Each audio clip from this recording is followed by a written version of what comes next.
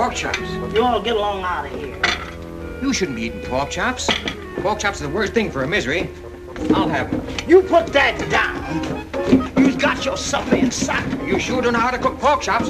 You know, with a talent like yours for cooking, I'm surprised you're still a single woman. Who done told you I was a single woman? I'm a deserted wife. I gets alimony. You do? Well, I'm entitled to it. Mm-hmm. I got 15 years of alimony coming to me when I finds out where my husband is. I can't understand a man deserting a woman like you with your talent of cooking to say nothing of your beauty.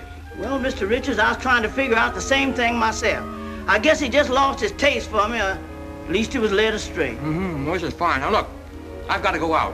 Will you do something? Will you cook some up for Mrs. McLeod and Miss Jane? They's done had their supper inside, and I ain't cooking no more around here until I find out what's going on. Where y'all going tonight? Well, if I tell you, will you cook some for them? Well, I might. Mm-hmm. All right. You put them on, and I'll tell you. I went out and try and get some proof on Doherty. Who you gonna see? Well, Willie Ferguson told me that a woman named Gas House Mary was paying Doherty protection money. You know her? Well, everybody knows Miss Mary McGovern. She runs a place called the uh, El Dorado. I know that, too. I know that old Doherty tried to bust her place up because she wouldn't contribute to his city orphans fund. At least that's what he calls his own pocket. Well, I know she's paying protection now, so I'm going to see her.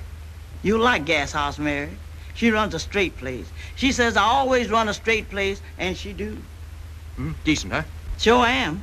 And pleasant, too. No gambling. And all her girls are nice girls. Don't you start no cutting up there. No, I ain't up. Do I look like the type that cuts up? You's a man, ain't you? That bounce of hers will cut your head wide open if you tried to start anything. These pork chops would cure anything.